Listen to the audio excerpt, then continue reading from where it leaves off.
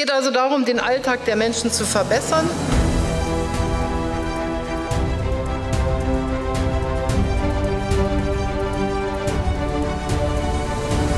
Ja, Herr Präsident, ich nehme die Wahl an.